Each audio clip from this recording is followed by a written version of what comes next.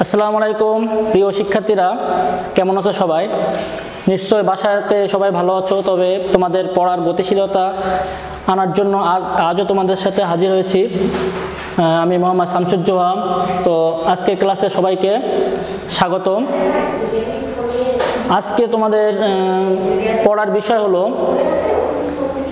সপ্তম শ্রেণির বিজ্ঞান দ্বাদশ অধ্যায়ের পাঠ ছয় এবং সাত থেকে। তো চলো আমরা সরাসরি পড়ায় ফিরে যাই। আমরা এখানে একটা কি দেখতে পাচ্ছি? লাটিম দেখতে পাচ্ছি। এই লাটিমটা কীভাবে ঘুরছে আমরা একটু পর্যবেক্ষণ করি। যে এটা এইভাবে ঘুরছে, এটা এখানে কিন্তু একটা সরু আল দেখতে পাচ্ছ। আর দেখা যাচ্ছে লাটিম নিজ আলের উপরে, অক্ষের উপরে পাক খাচ্ছে, এর উপরে। আবার দেখা যাচ্ছে এটা কি মাটির উপর বৃত্তাকার পথে বারবার ঘুরে আসছে? তাহলে এটা দুই ধরনের এর ঘূর্ণনটা কয় ধরনের? দুই ধরনের। একটা নিজের অক্ষের উপরে ঘুরছে, আবার একটা কি মাটির উপরে বৃত্তাকার পথে ঘুরে আসছে। এই লাটিমটা দেখার অর্থ হচ্ছে আমাদের পৃথিবীটাও কিন্তু এইভাবে ঘুরছে। তো গত প্রাচীনকালে মানুষেরা মনে করত যে সূর্য পূর্ব দিকে উঠছে, পশ্চিম দিকে অস্ত যাচ্ছে। তাহলে সূর্য মনে হয় পৃথিবীকে কেন্দ্র করে ঘুরছে পূর্ব থেকে পশ্চিম দিকে। কিন্তু পরবর্তী বিজ্ঞানীরা আবিষ্কার করছে যে তাদের এই ধারণাটা সম্পূর্ণ ভুল। সূর্য ঘুরছে না, পৃথিবী সূর্যের চারদিকে ঘুরছে এবং সেটা প্রতিনিয়ত পশ্চিম থেকে পূর্ব দিকে ঘুরছে। সেটা আমরা একটু পরেই দেখলে বুঝতে পারব। তো এটাও কি পৃথিবীর অনুরূপ? তাহলে আমরা দেখি যে পৃথিবী কীভাবে সূর্যের চারপাশে ঘুরছে। এই যে পৃথিবী দেখতে পাচ্ছি, পৃথিবীর চারপাশে আবার একটা উপগ্রহ ঘুরছে, সেটা হলো চাঁদ। পৃথিবীর একমাত্র প্রাকৃতিক উপগ্রহ হচ্ছে কি? চাঁদ। তাহলে পৃথিবী কিন্তু লাটিমের মতো নিজ অক্ষের উপরে ঘুরছে, আবার এই সূর্যের চারপাশে কেন্দ্র করে ঘুরছে। এখন নিশ্চয় বুঝতে পারছ যে পৃথিবী কীভাবে ঘুরছে। তাহলে পৃথিবী নিজ অক্ষের আবর্তন এবং সূর্যকে কেন্দ্র করে ঘূর্ণন সম্পর্কে আমরা একটু ধারণা পেলাম। এবার একটু বিস্তারিত দেখে আসি যে আমরা কোথায় বাস করি পৃথিবীর। এটা তো দেখা যাচ্ছে একটা পৃথিবী, এর উত্তর দিক, এটা কি দক্ষিণ দিক? এই পাশে দেখা যাচ্ছে পৃথিবীর বায়ুমণ্ডলের স্তর।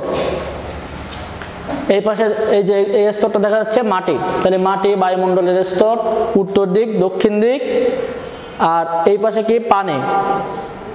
তাহলে পৃথিবী যদি এরকম হয় যে পশ্চিম দিক আর এটা কি? পূর্ব দিক। তাহলে এই পশ্চিম থেকে পূর্ব দিকে নিজ অক্ষের উপরে অনবরত ঘুরছে। এই ঘুরে আসতে সময় লাগছে চব্বিশ ঘণ্টা নিজ অক্ষের উপরে।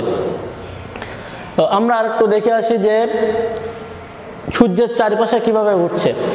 তাহলে পৃথিবী নিজের অক্ষের উপরে ঘুরতে সময় লাগছে চব্বিশ ঘণ্টা, আবার সূর্যের চারপাশে ঘুরে আসতে সময় লাগছে কত? তিনশো পঁয়ষট্টি দিন, ছয় ঘণ্টা। এটাকে আমরা বছর বলি। এজন্য এই গতিটার নাম হলো কি? বার্ষিক গতি। আমরা এখানে দেখতে পাচ্ছি। আর নিজ অক্ষের উপরে যে ঘুরে আসছে, ওই গতিটার নাম হলো আহ্নিক গতি। এবার দেখি আমরা কোন গতির ফলে কি হয়। তাহলে পৃথিবীর আহ্নিক গতির একটা আমরা পরীক্ষা করি যে একটা মোমবাতি নেই এবং একটা ভূগোলক দেখতে পাচ্ছি আমরা। এই মোমবাতিটা যদি আমরা জ্বালাই দেই এবং ভূগোলকটা যদি আমরা ঘুরাই, তাহলে দেখব যে যেদিকে মোমবাতির আলো পড়ছে সেদিকে উজ্জ্বল দেখাচ্ছে, বাকি দিকে কি অন্ধকার দেখাচ্ছে। ঠিক পৃথিবী যখন ঘুরছে, তখন সূর্যের দিকে যখন চলে যাচ্ছে, তখন সেদিকে দিন, বাকি দিকে কি থাকছে? অন্ধকার বলে সেটা আমরা রাত মনে করি। তাহলে টেবিলের উপর ভূগোলকটি, এই পরীক্ষাটা আমরা দেখি। রেখে একটু দূরে মোমবাতি বা টর্চ লাইট জ্বালিয়ে রাখি। এবার ঘরটিকে অন্ধকার করে ভূগোলকটির দিকে তাকাই এবং ভূগোলকটা আস্তে আস্তে ঘোরালে দেখা যাবে কি? যে, অর্থাৎ যেগুলো দেখা যাচ্ছে সেগুলো তোমরা খাতায় অবশ্যই লিখবা এবং এই পরীক্ষাটা বাসায় করার চেষ্টা করবা। তো এরপরে আমরা একটা ভিডিও দেখে আসি। ভিডিওটা দেখলে আরও একটু ক্লিয়ার হব। একটা সূর্য চারপাশে কি পৃথিবী কীভাবে ঘুরছে আমরা দেখি।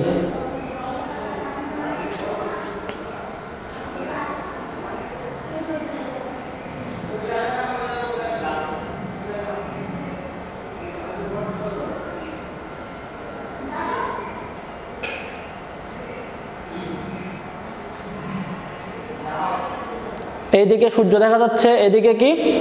ডে, দিন। আর ওইদিকে কি? অন্ধকার। অন্ধকার দেখা যাচ্ছে কি ওদিকে?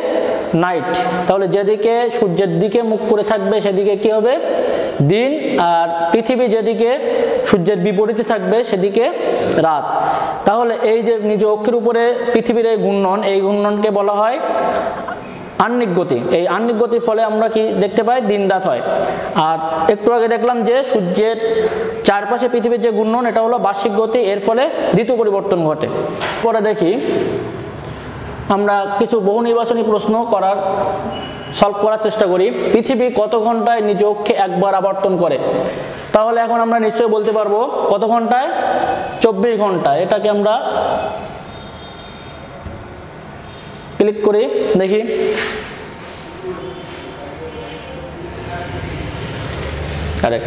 এরপরে দেখি পৃথিবীর ক্ষেত্রে যে কথাটি প্রযোজ্য তা হলো, পৃথিবী সূর্যের চারদিকে ঘোরে, পৃথিবী না, পৃথিবীর চারিদিকে সূর্য ঘোরে। পৃথিবীর চারদিকে সূর্য তো ঘোরে না, এটা আমরা দেখছি, প্রমাণ করছি। পৃথিবী নিজ অক্ষের উপর আবর্তন করে। তাহলে এখানে দেখে আমরা বুঝতে পারছি নিশ্চয়ই এক নাম্বারটা সঠিক হবে আর তিন নাম্বারটা সঠিক হবে, দুই নাম্বারটা হবে না। এক এবং তিন, আমাদের অপশানে কোনটা আছে? গ নাম্বার। দেখে আসি। কারেক্ট তাহলে এইভাবে আমাদের এখান থেকে যে ছোট ছোট বহু নির্বাচনী প্রশ্ন আসতে পারে, আমরা সেগুলো প্র্যাকটিস করব। তার সাথে বাসায় একটা কাজ থাকবে, সবাই লিখে নাও, দিন রাত কেন হয় ব্যাখ্যা করো। তাহলে আমরা যে পরীক্ষাটা দেখালাম, এই পরীক্ষার বর্ণনা দিতে হবে। তার সাথে পরীক্ষার চিত্রটাও তোমরা ভালোভাবে কি করবা? রপ্ত করবা। ওকে তাহলে সবাই ভালো থাকো, আর নিরাপদে থাকো, বাসায় থাকো, এবং নিজের এই সময়টাকে আরও বেশি করে কাজে লাগাও এবং নিজেকে আরও প্রস্তুতি করো। তো আজকে এ পর্যন্ত থাক, সবার সুস্বাস্থ্য কামনা করে বিদায়, আল্লাহ হাফেজ। এবং সবাইকে আবারও ধন্যবাদ, যদি কোনো প্রশ্ন থাকে সবাই আমাকে কমেন্ট করে জানাবে। ধন্যবাদ, আল্লাহ হাফেজ।